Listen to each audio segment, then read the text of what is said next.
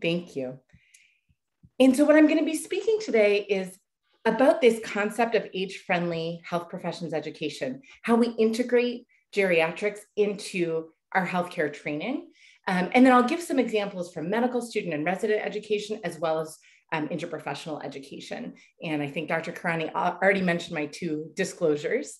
Um, so I just want to begin with a story uh, of a patient like many of the patients you've cared for um, that I've had the pleasure of, of getting to know through my geriatrics clinic. And what struck me most about meeting this patient, I'm going to call her Jane, is that her story is so typical of our aging population.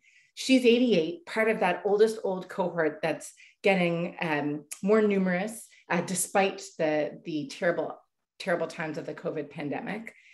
And um, Jane also is similar to many of her age cohort in that she has got multiple chronic conditions. Uh, and she, like most older adults, is juggling multiple different specialty appointments, multiple visits.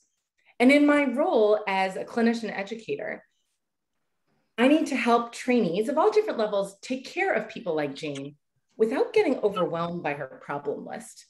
See, because when I'm working with a medical student or a resident or even a geriatrics fellow, and they see Jane's problem list, which actually doesn't include anything too unusual, but is quite long, it's quite normal for them to get overwhelmed and try to go problem by problem, but then they or Jane end up feeling frustrated and, and um, really unsure about how best to move forward to, to help take care of her.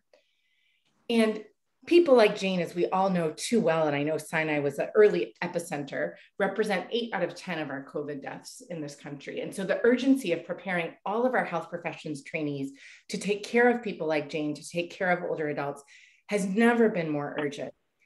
And what's fortunate is that at this time of urgency, we have a new framework that can help us integrate age friendly education. And that's what I'm going to be speaking about today. So I know many of you on this uh, Zoom are already familiar with the geriatric 5Ms. Just out of curiosity, if you'd give me um, like a Zoom thumbs up, if it's a familiar framework to you, um, that'll just give me a sense. I- am sure it'll be new for some of you. The framework itself was published in 2017, um, and it was developed by Dr. Mary Tinetti at Yale and Dr. Um, Allen Huang and Frank Molnar at the University of Ottawa, which is actually my hometown. And they came up with the five domains that anyone caring for an older adult needs to consider. And coincidentally, the five domains that geriatricians focus on when we care for older adults. These are mobility, mind, medications, multi-complexity, and what matters most. So when I teach my trainees to take care of someone like Jane, one of the first things I teach them is something I learned at Sinai, the ability to toggle between uh, maybe the internist lens and the geriatrics lens, uh, going between the problem list and making sure she's getting evidence-based care and zooming out to the geriatric 5Ms to make sure that her care is aligned with her goals and is paying attention to the issues of aging. So I'll give you just a brief overview about this framework, and then I'll be describing how we've integrated it into our curriculum here at Harvard Medical School. In each of the M domains, there are many different concepts. I'll highlight the top ones here. Safe mobility includes a focus on falls prevention, optimizing function, and identifying and mitigating frailty. The mind domain includes recognizing and managing dementia and cognitive impairment, delirium, as well as depression and other mood and psychiatric disorders. Medications includes looking at an older adult's medication list with an eye towards minimizing polypharmacy, deprescribing when appropriate, and thinking about how the physiology of aging affects their overall care. Multi-complexity is a particularly important domain in geriatrics. This includes managing multimorbidity, attending to caregiver stress and other psychosocial features um, that can impact an older adult's health, and complex topics such as prognostication that may affect our recommendations. And finally, and most importantly, attending to what matters most to people like Jane, making sure that we've appropriately prioritized their current care and have engaged in goals of care and advanced care planning conversations. So, this framework has become a really exciting scaffold that educators across different health professions and within medical education have been using over the last few years to structure geriatrics education around a shared language. And I'll be giving you some examples. In addition to this framework, many of you may be familiar with the Age Friendly Health Systems Initiative. And again, I'll be curious via a Zoom thumbs up how many of you are familiar with this. Um, started by the Institute for Healthcare Improvement here in Boston, the Age Friendly Health Systems Initiative is a national quality improvement project um, that is now spreading internationally, aimed at integrating four of these M's throughout the healthcare system. The idea here is that in any healthcare setting, whatever your specialty is, clinicians and healthcare providers ought to have a system to make sure that what matters to an older adult is assessed and acted on, that safe medications are assessed and acted on, et cetera. And the Age Friendly Health Systems Initiative has been spreading through individual healthcare systems as small as one clinic or as large as an entire healthcare system, committing to do a, the quality improvement work to integrate systems around each of these evidence-based domains. So when we talk about age-friendly care for our trainees, what we're really talking about is providing a way to both teach the concepts to care for older adults and integrate them into the system of clinical care. I want to add one other way of thinking about age-friendly education, which goes beyond teaching the specific topics to thinking about who we're teaching and how we're teaching it. And this is a concept of big G and little g geriatrics. Um, now, this is a concept developed by um, our wonderful colleague at Mount Sinai, Dr. Rosanne Leipzig, and another Sinai alumna, Kate Callahan and colleagues. And what they've written about is this idea that the big G geriatrics folks are folks like, like me and Dr. Karani and Dr. Soriano who've done additional training in geriatrics. And this is our career path and our focus. But the majority, the vast majority of care for older adults in this country does not come from big G geriatricians. In, instead, it comes from the little g geriatrics providers everyone in the healthcare system who needs age-friendly competencies to be able to effectively care for older adults. And this is critical because, as is well known, there are not, there are not enough progress. providers, providers, nor will there. Nor will there. In fact, we know from um, the IOM report in 2008 that the projected number of just geriatric physicians needed, let alone geriatric social workers or psychologists, is tiny compared to the actual impact. And just to put a number on it, Dr. Louise Aronson in her book Elderhood has written about that number of around 6,000 geriatricians in the country um, compared to 70,000 pediatricians. Uh, so when you think about the size of that population, it's clear that while Big G geriatrics is very important to train the, the next generation of leaders and, and researchers and educators and clinical innovators, really what our, we need to do in this country is geriatricize the medical system and geriatricize our education because more than half of uh, healthcare encounters come from that 15% of the population who are old. Um, and as we, as we are seeing during COVID, definitely the population that is bearing the burden of this. So what I'm gonna speak about is little g geriatrics, and I'm going to give you some examples from the medical school curriculum, residency, and interprofessional education. And while a lot of my day job is focused on training big G geriatricians in my work mentoring fellows um, and training our, our geriatrics junior faculty in education, my focus today is on health professions education more broadly and this concept of little g geriatrics, of infusing these principles, the geriatric 5Ms, and an age friendly approach so that wherever an older adult encounters the healthcare system, someone like Jane will get the care that she needs wherever she is cared for. So you can see here on the screen um, the original medical student competencies in geriatrics, which you can see were developed by a team um, largely from Mount Sinai. And um, these competencies were developed in partnership with the AAMC and the John A. Hartford Foundation and published in Academic Medicine in 2009. A few years later, parallel competencies were published uh, related to palliative care.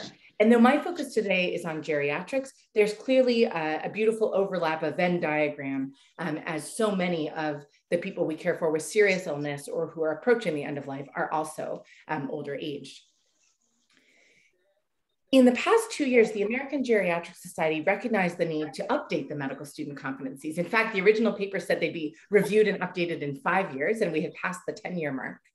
Um, and because geriatrics and palliative care are not required parts of medical school education, the LCME, as I'm sure many of you are familiar, only gives a, a, general requirement for teaching across the lifespan, but most medical schools do not have a required geriatrics rotation the way Sinai does. It had such a big impact on me uh, when I was a student. Uh, because of this, these competencies have been variably implemented, and there is more research needed to understand the barriers to implementation at different medical schools. So in 2019, the AGS, the American Geriatric Society, formed a committee to update these competencies. And I had the honor of co-chairing this committee um, with Dr. Rosanne Leipzig from Sinai and Dr. Mandi Sehgal from Cleveland Clinic in Florida. And we, with our team, decided to reframe the competencies using the geriatric 5Ms both because this framework was being used by providers all over the country to develop clinical education in geriatrics, and because using this shared language would align with the Age Friendly Health Systems Initiative. So you can um, read about the competencies. If you've got a smartphone, you can use this QR code to get to the full list. I'm just going to highlight a couple of aspects to give you a flavor, and then I'll explain how we've been using them at Harvard Medical School to integrate into our medical student education. So the key about these competencies is, they, is, that they are minimum competencies for graduating medical students. They are things that every doctor needs to know, whether they meet someone like Jane as the grandmother of the child that they're caring for as a pediatrician, and they need to recognize that she is developing cognitive impairment that may impact her capacity to care for her grandchild, or they meet Jane um, in a preoperative appointment as an anesthesiologist or a surgeon and need to decide whether she needs prehabilitation to minimize her risk of delirium or intraoperative complications. Every graduating medical student needs certain competencies within these five domains to be able to care for people like Jane. I'm going to highlight a few of the new competencies that weren't in the 2009 set, um, and I'm certainly happy to um, answer any questions about them.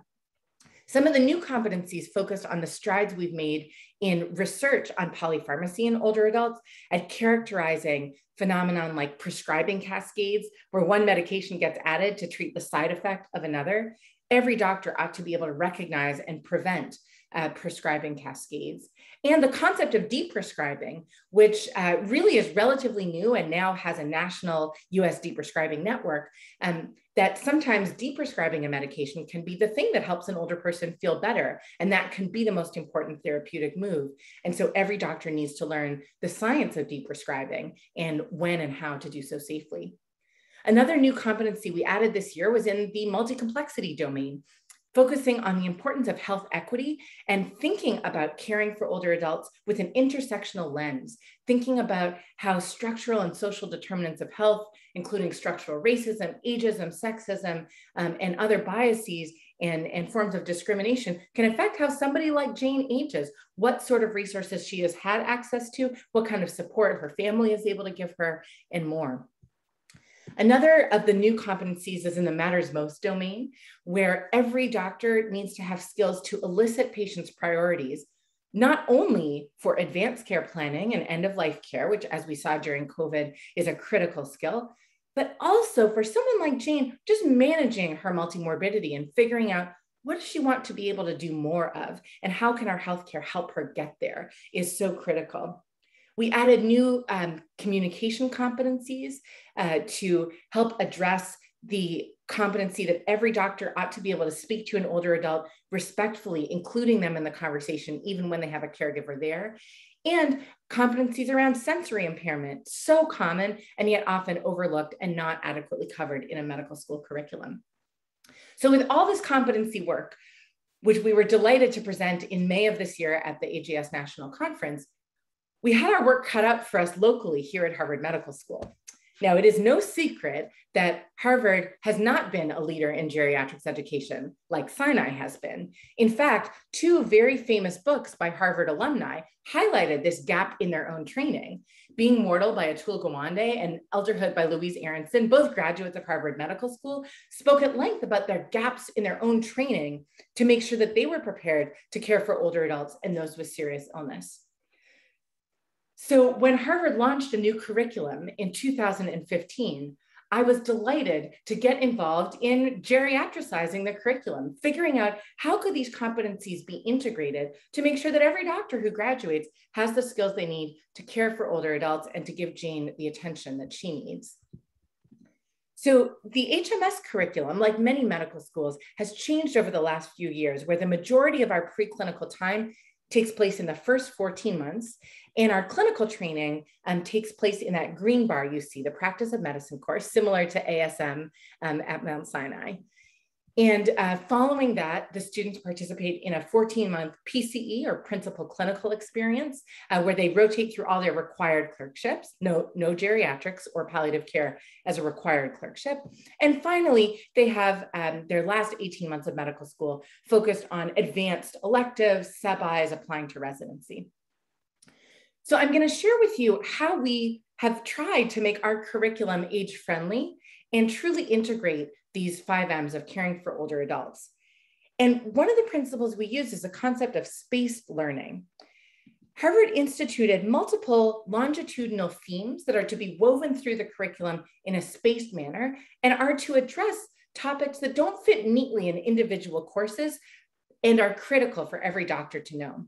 The five societal themes that HMS announced in 2019 our health equity and health disparities, which dovetails with the important anti-racism work happening in the curriculum, trauma-informed care curriculum, substance abuse and pain, sexual and gender minority health, and the aging population and end of life theme.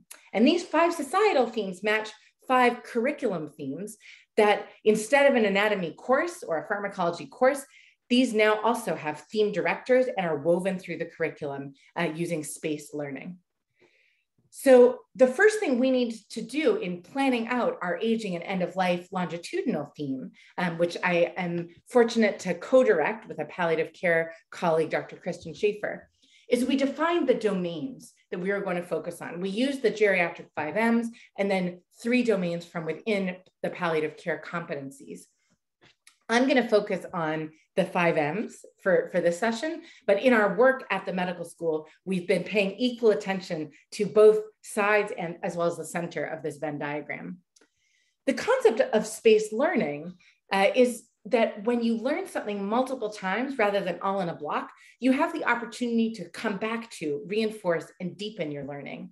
In this study here, you can see that the projected forgetting curve after you learn something new uh, is that by the time 60 days have elapsed, you're likely to have forgotten most of what you learned, no matter how engaging or important it felt at the time. However, with spaced learning, with reminders, whether they be um, emails that get you to fill out a quiz question um, or uh, clinical experiences, classroom experiences, reflective experiences, can help bring that material back to the forefront. And so we adopted a spaced learning approach for integrating the five M's. And here are some examples of what we've done. So in the first year in the practice of medicine course, students uh, learn at first just the basics of taking a medication history, asking about adherence. They participate in a geriatrics clinical reasoning session where early in their experience, they get introduced to the idea of multicomplexity, that your typical patient who's old is not necessarily going to come in with one medical problem but rather is more likely to be like Jane. That's super common. And so having the skills to navigate that is, is critical. Um, they participate in a home visit with an older adult uh, where they begin to ask those questions about what matters. And they, be, they participate in a longitudinal OSCE with an aging patient. And I'm going to speak about that separately. Sessions follow on the mental status exam, on applying uh, safe prescribing practices to the hazards of hospitalization, a polypharmacy workshop at the beginning of second year, and followed by other curricular elements that, as you can see, return back to the same topics, but at a deeper level as the students progress through their education. One of the other tools we use to emphasize this spaced learning is a geriatric 5Ms pocket card, which is a, a, synthesis of validated tools for the assessment of older adults that any doctor could use pretty much on any clinical rotation, grouped on the 5Ms. And um, this was actually developed by one of our students who came to us with an idea, with a proposal as part of the medical education course. And I remember taking the medical education course as a, as a student at Sinai when Dr. Soriano and, and Dr. Lisa Coplit were leading it. And, uh, and I'm paying that forward and, and seeing the, the wonderful things that my own students are, are coming up with, which has been very exciting. So we published the card in the Journal of the American Geriatric Society and subsequently a digital edition um, with AGS. And, and the idea here is that a lot of our trainees did report low confidence in caring for older adults. And a lot of the material is later in the curricula, but they need it um, at the point of care, even if they haven't yet had their session on capacity assessment, and they're going to be asked to do that. And by really trying to synthesize what were the most important practical things they would need at the patient's bedside, um, we enabled them to come back to some of the learning that had been done in some of the didactic sessions. And our goal was just to help them improve their self efficacy because people change by feeling good, not by feeling bad. This is a quote from the Stanford psychologist BJ Fogg, who writes in his book Tiny Habits that if you're trying to train someone to do something new, they change by feeling good, by feeling a sense of accomplishment, by wanting to do more. And so, if we can help our trainees feel excited about meeting patients like Jane and not dread that long problem list, but feel that they have something to offer by using the five M's, we can help them feel more confident and look forward to caring for older adults. So we, we give them the pocket card in first year and then they use it during their year on the wards. And um, most of them found it useful. Most of them are using it. Um, and we've now expanded that to our residents as well. Um, so, and this is some of our, our data. Um, so the card itself, uh, the more updated version is on AGS, but the PDF is still in JAGS.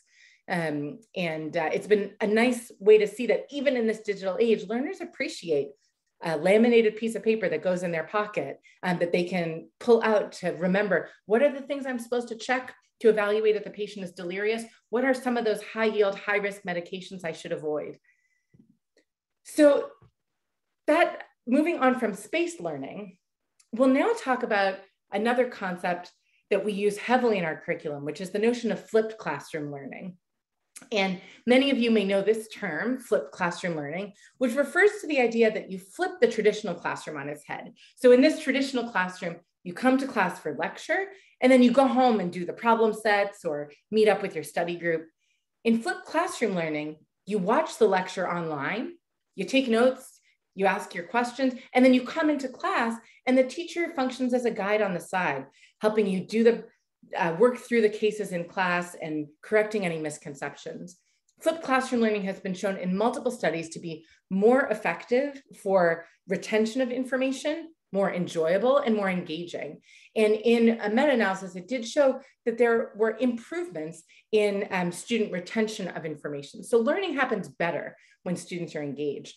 So um, a classic example of flipped classroom learning is assigning aquifer geriatrics cases and I know one of the associate, uh, two of the, two of the uh, Aquifer Geriatrics team uh, are also at Sinai, um, Dr. Leipzig and Dr. Ramaswamy. And we found during COVID, when this resource became freely available, that the enrollment of students using these cases dramatically jumped up, as you can see um, in, in this graph. And uh, so we've been using that also to get the students to do a case about advanced care planning before they come to the code status workshop so that the level of questions they can ask in the classroom will be much higher.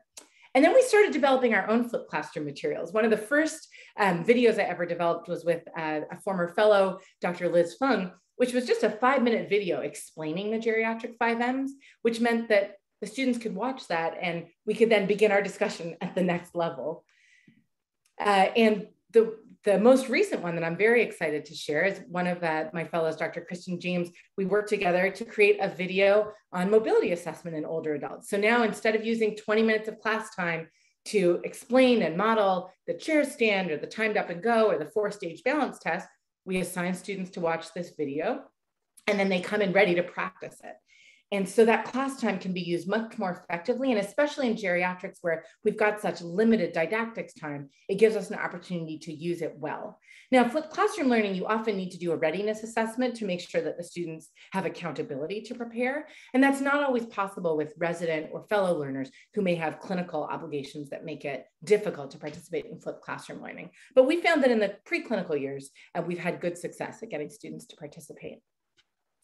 The next concept I'd like to talk about in our curriculum is the concept of clinical competence. And many of you may be familiar with Miller's pyramid of clinical competence, which reminds us that when we're trying to teach any health professions trainee, we're really trying to help them move from these cognitive levels of competence where they know how to do something or they know what the concept is up to the behavioral domains of competence where they can demonstrate it and actually do it with a patient.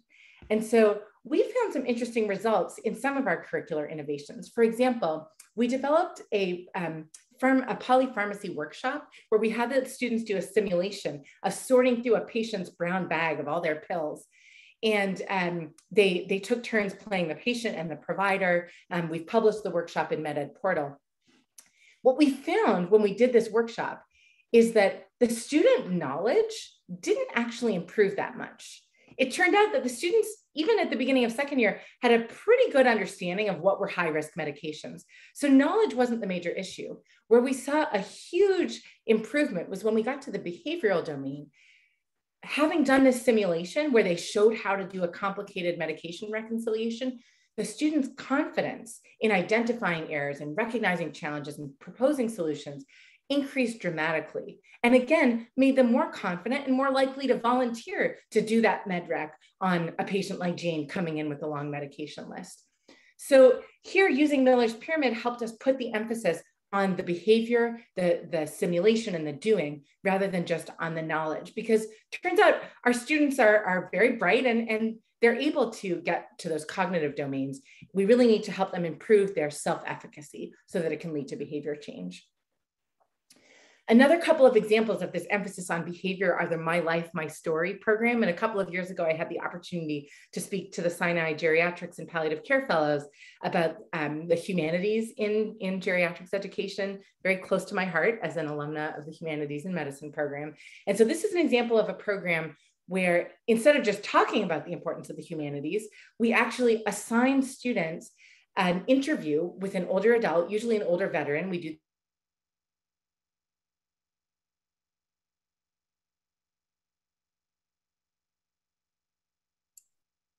Uh-oh. Oh. Oh. We just have to hold on. I think Andrea's frozen. Probably jump off and come back on. You may not realize it. I think she has. I think she has. I think she was logged off.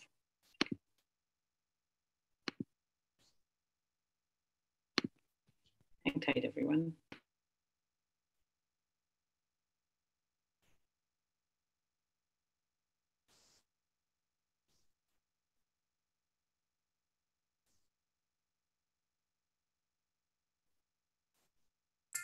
Stretch break.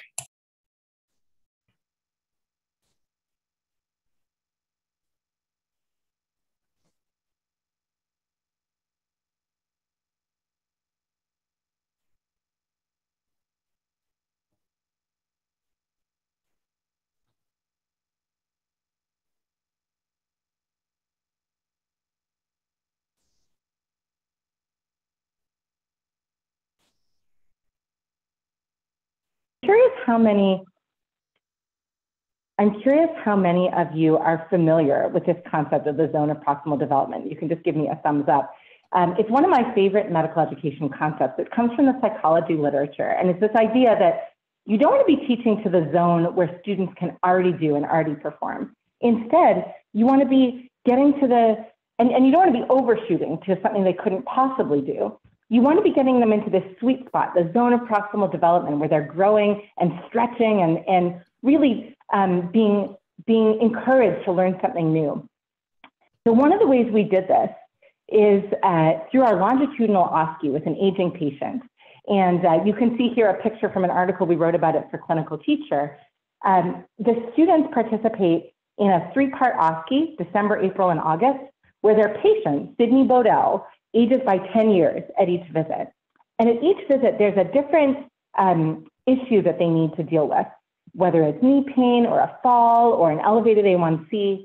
And we studied where the students were in their zone of proximal development. In first year, most of them could do very well with the chief complaint, um, but we saw that the zone of proximal development would be getting them to add an additional layer of focus on geriatric issues. And in the third case, recognizing a change in a lab value like the A1C, recognizing some of the psychosocial uh, components. In this case, um, that the patient's partner had passed away and had been cooking and managing the medications in this patient with diabetes. So throughout all of our medical school training, what we're really trying to do is integrate these age-friendly concepts into the medical education process that the students are doing so that it's not a standalone, oh, now we're thinking about geriatrics, but rather when they're meeting an older adult, when they're meeting someone like Jane in any setting, they are thinking about these 5M concepts. So turning for a moment to resident education, the competencies for residents were published in 2010 and are about to start being updated by the American Geriatric Society. And these are only for internal medicine and family residents, and there have been subsequent efforts to geriatricize um, other specialties. And we developed a workshop integrating the geriatric 5Ms into primary care um, that was for residents. And this workshop is available on MedEd portal. And at the end, I'll share a link with all of the resources we've developed in our toolkit. And what we did is we followed a patient, Mr. V, through four outpatient primary care visits. And we were able to increase our resident learners' knowledge by giving them practical tools. We used current curriculum design to make sure that we did a thorough needs assessment of our learners and set goals and objectives that fit with their needs. And that we developed educational strategies that were interactive, practical. We gave them an, an EMR template that they could use. And then we figured out how to implement it in a way that could fit with a busy resident schedule. So our pilot was a half day where they were able to block clinics, but subsequently we do it in half hour blocks that can be done in like a pre-clinic or post-clinic teaching. And then the, we evaluated both the workshop and the residents. And here's where we got them into their zone of proximal development. We really, really, we knew they already knew how to avoid polypharmacy. They just didn't necessarily have tools that could help them at the point of care. So we really emphasized the behavioral change.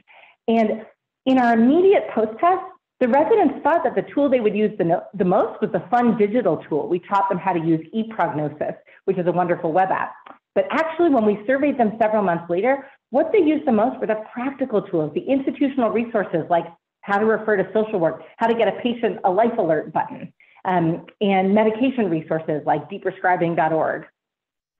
So we found that through this workshop, we were able to integrate these concepts into a busy residence workflow. Now, it looks like the Zoom disconnected, but can you still hear my voice? Yes. We can, Andrea. Okay.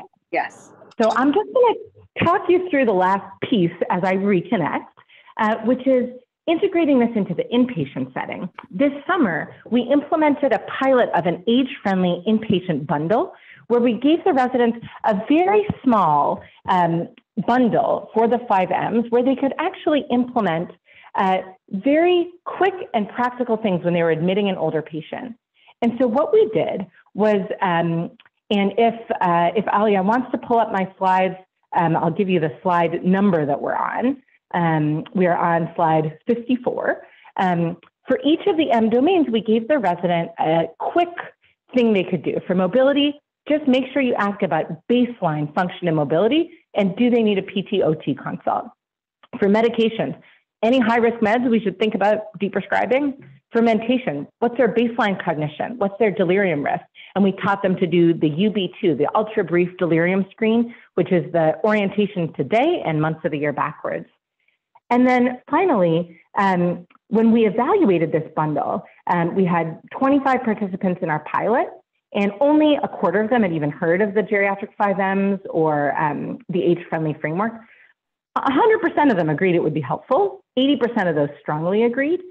And um, interestingly, when we did semi-structured interviews, we found that they thought it would be very feasible. They're used to doing a bundle around code status or tubes and lines, and this would give them an opportunity to deliver age-friendly care at the point of care. So the last thing I was going to touch on, and um, I, I, hope that um, I'll be able to reconnect and show you the slides, or, or maybe um, Aaliyah is able to, to pull them up. Uh, the, the last thing is wonderful. Thank you. So we're on the slide that says little g geriatrics, focusing on interprofessional education.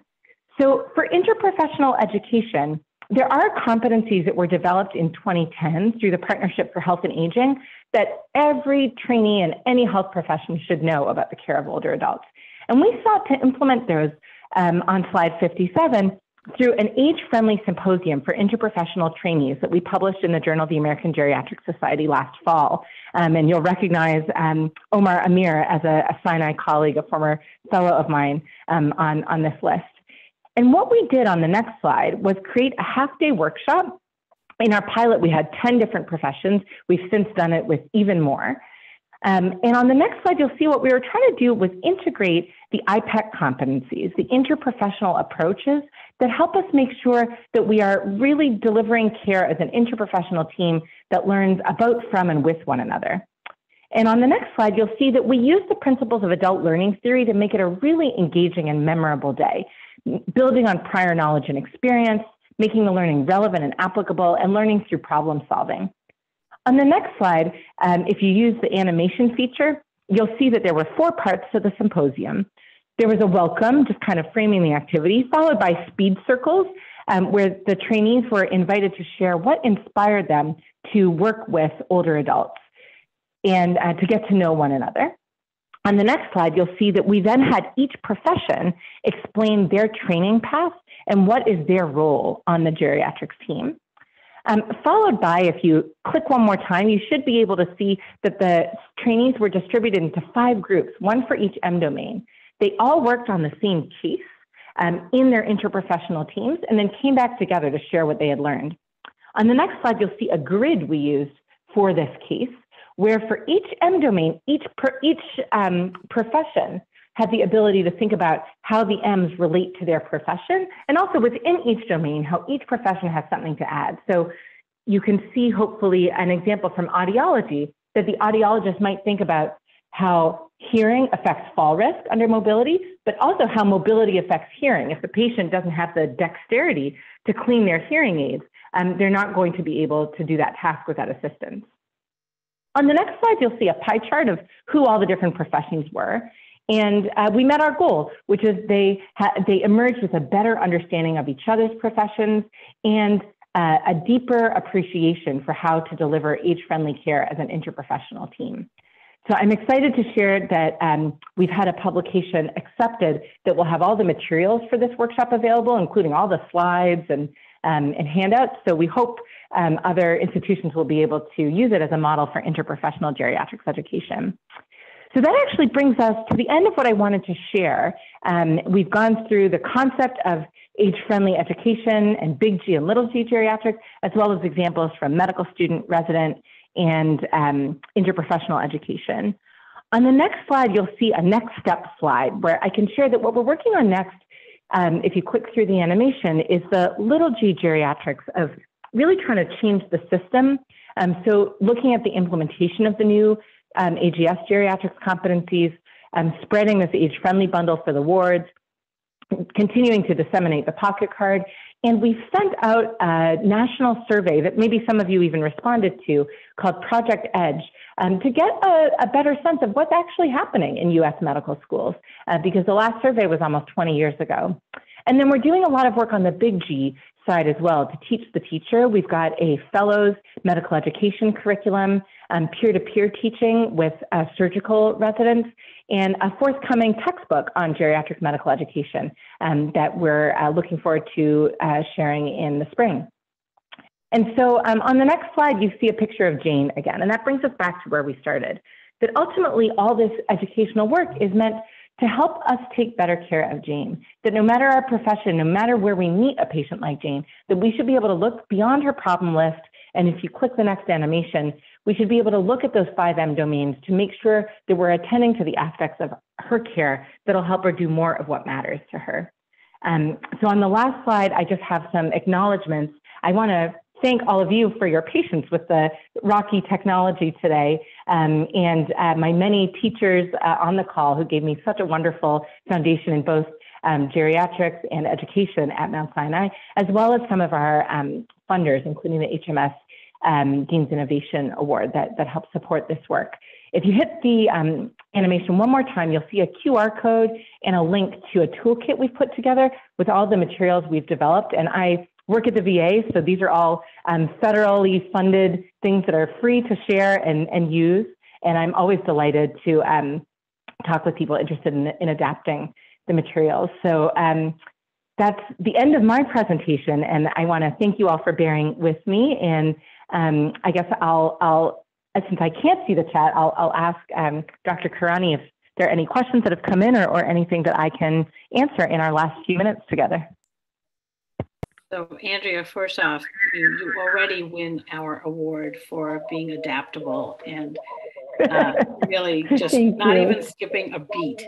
Um, and if you could see the uh, room, you could see you're getting lots and lots of Zoom applause, which we will unmute ourselves later to give you uh, in person so at least you can hear it. But uh, I will turn it over to folks. If you can raise your hand for me so that I know I can call on you for questions for Dr. Schwartz.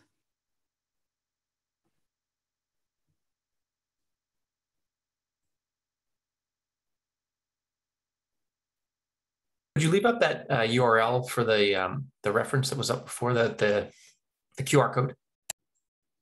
We'll put it back up in a second, Joel, for sure. Ah, thanks.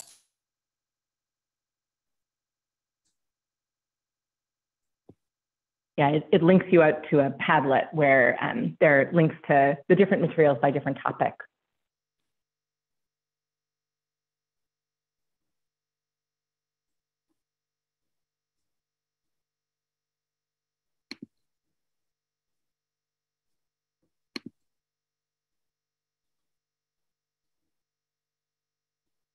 All right. Any any questions?